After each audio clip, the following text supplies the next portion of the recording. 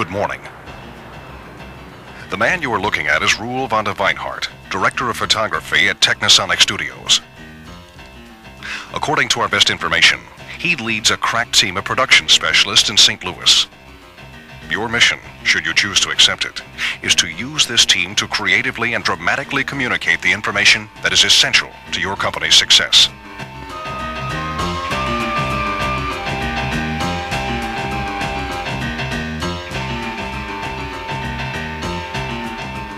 This is the largest production company in the Midwest.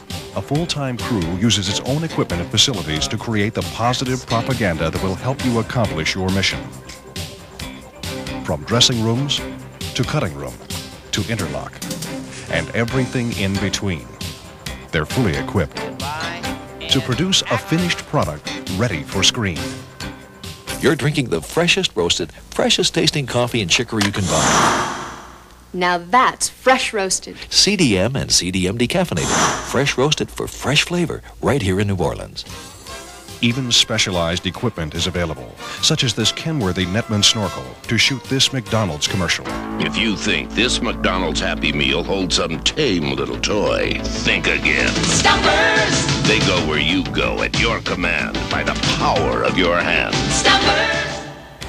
If your mission takes you to a remote location, Technisonic is ready to mobilize. Two fully rigged location vans and a 300 amp generator let you shoot film or video anywhere. Sources indicate that there are thousands of arresting locations in St. Louis and Missouri. Permits are free or low cost, and public officials bend rules to help you.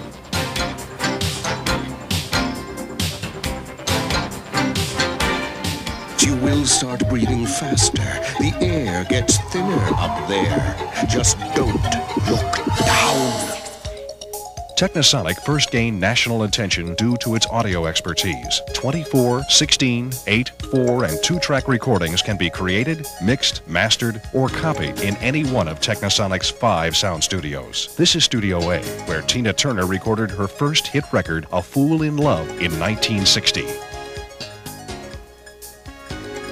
Expert producer engineers can even create an orchestra or any other sound effect electronically using the state-of-the-art Synclavier digital music system.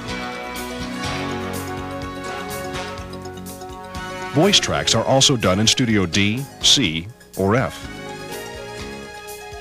But if your production is going to end up as a 35 or 16 millimeter film, your tracks will start here in Studio E, where they will be transferred to Sprocketed Mag for use by film editing. Masters for record pressing are cut here on a Neumann VMS 70 lathe. High-speed Cetec Gauss duplicators turn out quality cassettes and tapes by the hundreds of thousands for mailings, sales meetings, promotions, training, and the consumer market. Technisonic has facilities for editing and finishing both film and video. Every five days, the population of the world grows by more than one million. Film is edited to completion or prepared for transfer to video by film editors on traditional Steenbeck or KEM flatbeds.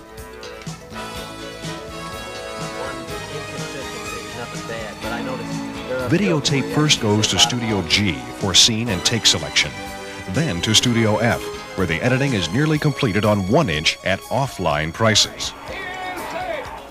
It's completely computerized with full list management functions for auto assemble. And a key advantage here is a higher quality sound on videotape.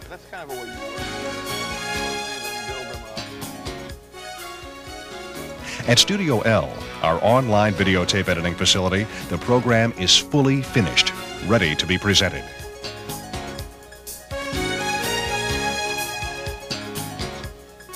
In summary, Technisonic Studios is the complete film, video, and audio production house with its own equipment and facilities.